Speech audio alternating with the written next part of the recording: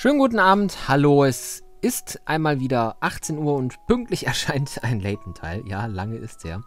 Aber es ist nun wieder soweit, wir sind immer noch beim Hasentheater, wir sind immer noch völlig gespannt, was da alles auf uns zukommt und äh, Völlig. ja, völlig, total. Völlig, total. Ich hänge an deinen Lippen. Mega cool. Also, weiter geht's. So langsam geht es wirklich voran mit der Schauspielerei. Du kannst schon richtig viel. Hm, Das habe ich alles nur mit deiner Hilfe geschafft, Luke. Aber nicht doch. Du hast hart trainiert. Und der Zirkusdirektor, äh, äh, und den Zirkusdirektor hast du auf die Bühne auch allein beeindruckt. Meinst du wirklich? Ich weiß es. Und jetzt lass uns feiern und den, das Tanzbein schwingen, was? Warum? Das, das Tanzbein? Was ist das denn? Ist das so etwas wie eine, ein Hasenschenkel? Oh, geil. Na? Ähm, Perverses das ist doch nur Vieh. eine. Ich hab Hunger. Das ist doch nur eine Redewendung. Aber Naja. vielleicht tanzen Hasen gar nicht. Der Hasen würde vielleicht eher tanzen, indem er im Kreis herumhoppelt. Aber es gibt viele Arten zu tanzen. Da kann man ganz kreativ sein. Mm, Das klingt ja aufregend. Zeigst du mir, wie das geht? Ui, du bist aber engagiert. Äh, denk nicht über die Schritte nach. Tanz einfach drauf los. Wenn du das bis zum nächsten Theaterstück drauf hast, wird das ein Klacks. Ich schreibe es mal unter Tanz ins Hasenbüchlein und nu hops drauf los. Jawohl. Tanz wurde dem Hasenbüchlein hinzugefügt. Schlappi beherrscht nun die Aktion Schleichen. Okay. Er hat schon wieder was. Ja, äh, Hasen, Ritt, nee, Tritt. Kann ich dich mal etwas fragen, Schlobby? Nein. Gut. Ja, ja. Was würdest du machen, wenn dich jemand angreifen würde? So richtig brutal. Hm, das klingt aber nicht schön. Da würde ich mich bestimmt ganz arg fürchten. Aber wenn jemand fies wäre, bekäme er einen Hasenlauf verpasst. Das steht fest. Einen Hasenauflauf? N du bist ein perverses Vieh. Mit Käse. Ja, einmal fix das Hinterbein ausgestreckt und schwupp fliegt er weg. Aber wieso fragst du? War jemand gemein zu dir? Hast du dich gefürchtet? Nein, nein, obwohl es so ein Tritt mit dem Hasenlauf schon beunruhigend klingt. Aber es wäre auf jeden Fall eine gute Aktion für dein Repertoire. Oh, Fremdwörter. Das klingt sogar besser, als ich anfangs dachte. Das Was Repertoire. Repertoire? Ach ja?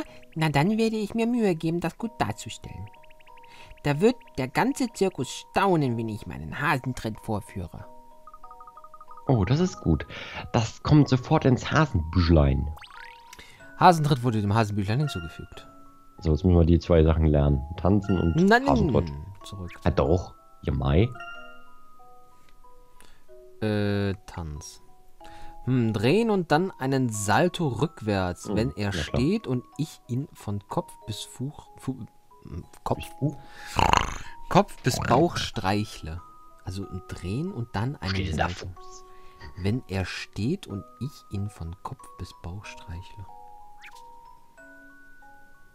Ja, was Ähm. macht er denn jetzt da oben? Kommt er jetzt runter. So, also stehen. Stehen. Du musst die, die Brust gedrückt Na. halten. Oh. Ich muss mich mal kurz anders positionieren. Ja, ist doch gut. Hase, komm runter. Komm, komm mal wieder runter. Hallo. Ist doch. Fetten Fressbacken. Na, huch. Hm. Das war zu viel. Also nur auf die Bau. Warte. Nur auf die rechte Brust. Die rechte? Warte, ich guck mal. Ähm, Da. Das kann nicht sein, der fliegt um. die Brust für eine Sekunde halten, danach nach oben ziehen.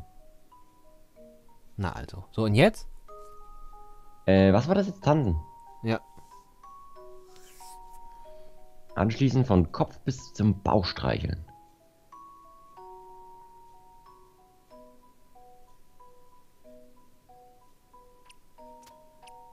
Das ist Tanzen?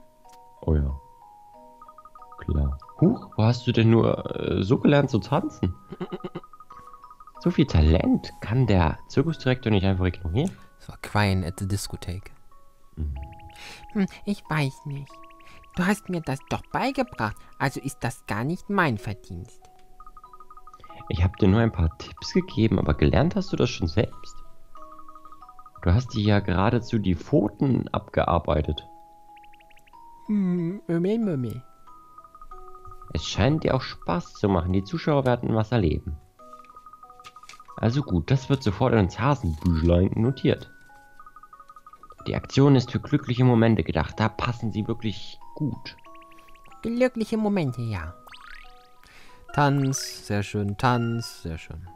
So, Dance, dance, so dance. dann haben wir hier das. Ach noch nein. den, den Kick. Ja, ja, ja. Hasentritt. Zuerst müsste er aufrecht stehen, wenn ich dann mehrfach rasch rechts oder links von ihm tippe. Warte, ich lese mal. Mo- Moment, warte, das will ich jetzt erstmal selber rauskriegen. Das ist, äh.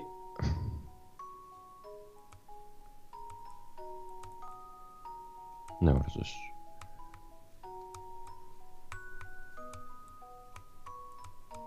was ist rasch? Rechts und links Zwei, von ihm? Zwei bis dreimal am Rand tippen steht da. Oh. Wow. Das war Ninja Hasi. Ob man ihn jetzt als Kunstform bezeichnen kann? Kunstform? Hm? Die alte Kunst des Hasentritts seit Generationen weitergegeben. Hm. Zack, die Bösewichte haben keine Chance. Hm. Wie im Kung-Fu-Film. Hm. Kung Fu Hasi. Zack, schwupp, hui. Das muss ich im Hasenbüchlein aktualisieren. Büchlein. Einverstanden. Alter, Hasentritt. was ein Kung-Fu-Killer. Hm. Ja, tschu. So ist aber alles. Ach, schleichen. Ach da, schleichen. Langsam und behutsam gehen. Völlig geräuschlos. Das baut Spannung auf. So. Äh, Ende. Alter. Zu Hause ist's am besten. Nachdem Herr Hase aus neu, das neue Domizil seines Cousins gesehen hat, will er auch ein neues Zuhause. Wie dieses Drehbuch will er Flyer. Es war ein ganz gewöhnlicher Tag im Wald. Herr Hase folgt der Einladung seines Cousins Flauschi, der vor kurzem einen neuen Bau im Wald bezogen hatte. Folgte der Einladung seines Cousins Flauschi. Was war das jetzt Nummer 4 oder 5? 5. Äh, ja. 5, ja. Ja. Soll ich dir einfach sagen? Hm, Spazieren? Äh, Tänzeln steht hier. Aber spazieren würde wahrscheinlich auch gehen. Tänzeln. Ach, wo war das jetzt? Sag mir Das mal ist die... rotes. Da. Oh, ich hab's im Nacken. Boah. Als unser kleiner Hoppel Flauschis niegelnagelneuen Bau sah, wurde er ganz neidisch. Er wollte genauso einen. Ich möchte dich grün vor Neid sehen, grün und richtig verärgert. Irgendwas Grünes? Ja, äh, dieses Türkise. Also Türkis. Ja. Schmollen. Nee. Stampfen. Echt? Verstimmtes Aufstampfen. Na, okay, meinetwegen auch das. Sein Heim sollte das Beste des Waldes werden. Vorher wollte er aber noch die Wohnung seiner Freunde inspizieren. Inspizieren. Okay. Keine Ahnung. Äh, das ist Unruhe. Farbe? Äh, grün.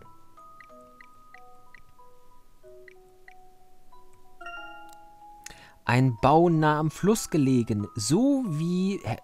Was? So wie Biber einen hat. Das wäre schön. Dachte das Schlappohr bei sich. Nun etwas Glückseligkeit, weil du dir dein Traumhaus vorstellst. Glückseligkeit, Vorfreude oder sowas. Jubel, ein kleiner Freudenhüpfer. Nee. Mhm, doch, Doch, Jubel. doch. Hätte ich jetzt nicht gedacht. Oder ganz was anderes. Ein luftiges Heim in der Baumkrone, wie Hörnchen eines hat. Noch etwas freudige Erwartung, bitte. Vielleicht etwas verspielt. Jetzt kommt was Braunes oder Gelbes oder. Herumkugeln. Nee. Spähen. Handstand. Gewackel mit dem Hinterteil auf den Vorderpfoten stehen. Gewackel würde ich sagen. Ja, wackeln. Wockel, wockel. Oder eine noch viel größere Höhle, wie bei Herrn Bär. Das wäre fein. Die würde all meinen Freunden Platz bieten. Jetzt bist du sehr glücklich und zufrieden mit deiner Idee. Jetzt was Rotes. Tanz. Jo. Während er durch das Gehölz spazierte, dachte unser Hoppler über all dies nach Spazieren. Jo. Er war noch ganz in Gedanken vertieft, als er seiner Nachbarin Frau Eule auf dem Waldweg begegnete. Er war äh, Grünes. Gedanken vertieft. Also Hallo? Ach so, kann ich redet. gar nicht. Er redet jetzt mit Eule. Frau Eule hörte sich Langohrs Misere besonnen an und schüttelte danach energisch ihren gefederten Kopf. Langohrs Misere an. Sorge. Hm, Na, wobei. was Grünes. Nee, Gequassel. Jo. Sie sagte, Alle Waldbewohner haben schöne, ganz unterschiedliche Domizile, aber meines ist doch das Liebste. Ist mir das Liebste. Herr Hase dachte über ihre Aussage nach und plötzlich fiel es ihm wie Schuppen von den Augen. Und hier fällt dir dann plötzlich etwas ganz Tolles ein. Geistesblitz. Mhm. Wo war der denn jetzt? Ist was Grünes. Da. Er war so neidisch auf die Behausungen seiner Freunde, dass er vergessen hatte, wie bequem doch der eigene Bau war. Uiuiui. Auch was Grünes. Oh, was Grünes. Schock, Aber, Schock oder ja. Sorge? Schock.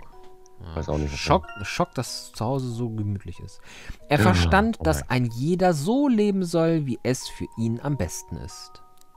Plötzlich wollte er nur noch in sein behagliches Heim. Mit dieser wertvollen Lektion hoppelte er nach Hause. Was Türkises. Flücht. Nee, Flücht. Jo. Doch, Flüchten Flüchten. Jo. Ende. Muss ich jetzt wieder lesen. Ach nee, komm, lass. Ich hab's ja jetzt gerade vorgelesen. Danke. Überspringen. Ausnahmsweise. Zu Hause ist's am besten. Ganz talentfrei bist du nicht, aber wir schauen mal. Tänzeln. Kannst die Aktion vorlesen. Oh, okay. Stampfen.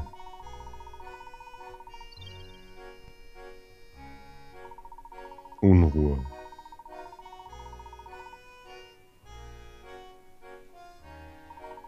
Jubel.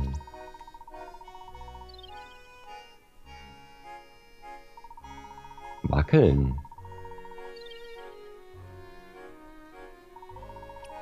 Tanz.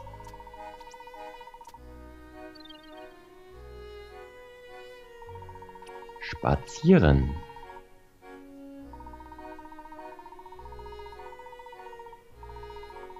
Gequassel.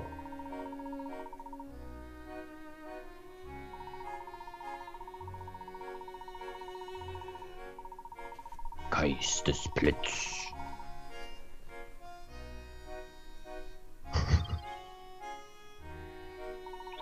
Schock.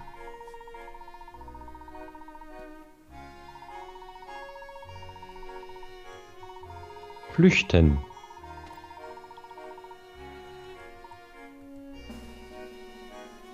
Ende.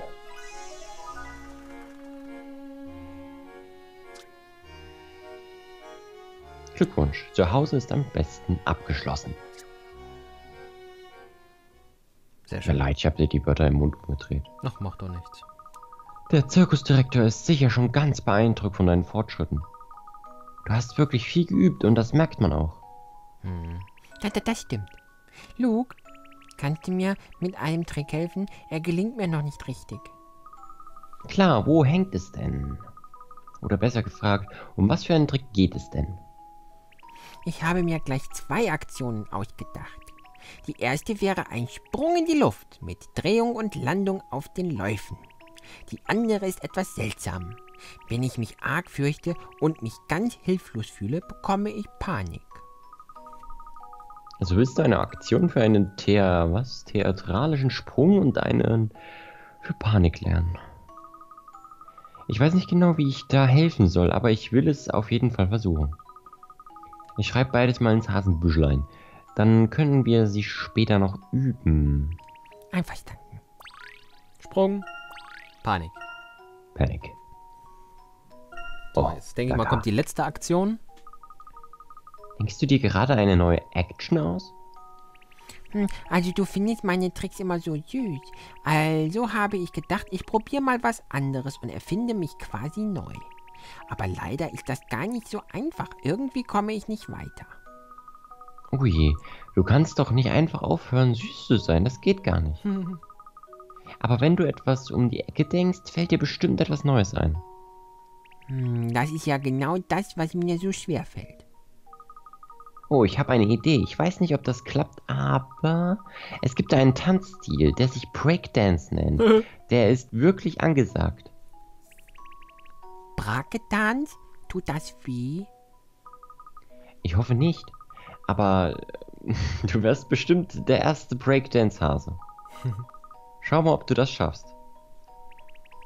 Bisher klingt das alles noch etwas schwammig, aber ich gebe mir Mühe. Ich äh, vertraue dir, Luke. Ja, ja, ja. Wunderbar. Auch das kommt in mein Hasenbüchlein. Bei deinem Breakdance werden die Zuschauer aus den Staunen nicht mehr herauskommen. Ein kleiner Hopser für einen Hasen, aber ein großer Sprung für die Hasenwelt. Brakedans wurde dem Hasenbüchlein hinzugefügt. Super. Oh nein. Oh ja. So. Hm. Wenn er mit mir den Rücken zudelt und ich ihn dann rhythmisch antippe. Rhythmisch antippe. Das hört sich schon so ein bisschen, äh, Was? Was, was willst du sagen? oh, Klappt. weiß ich noch nicht. Das hast du gut gemacht, Schlabbi. Da merkt man, dass du dir viel Mühe gegeben hast. Mümmel, Mümmel, hm, ich kann ziemlich gut hopsen, findest du nicht? Oh ja, das kommt gleich ins Hasenbüchlein. Ich muss dir wohl nicht sagen, dass es eine Aktion für einen, äh, Sprünge ist. Richtige Sprünge, aber auch Gedankensprünge. Also zum Beispiel, wenn du eine schwierige Aufgabe gemeistert hast. Verstehe.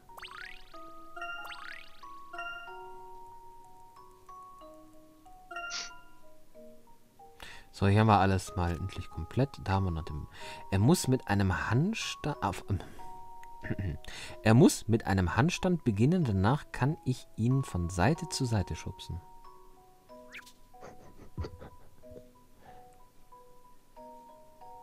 Was ist denn das jetzt? Breakdance? Hm. Also du sollst den Kopf gedrückt halten? Oh.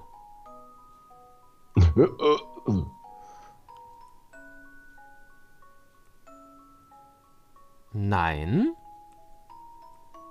Und dann danach nach unten ziehen, anschließend den Rücken seitwärts streicheln. Moment.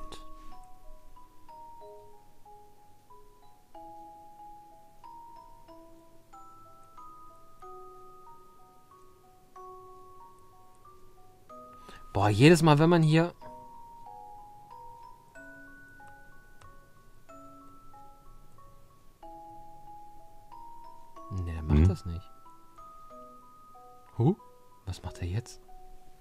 Ist Wutanfall. Oder Stampfen. Versuch mal weiter oben anzusetzen. Naja, aber da. Jedes Mal die Foot runter.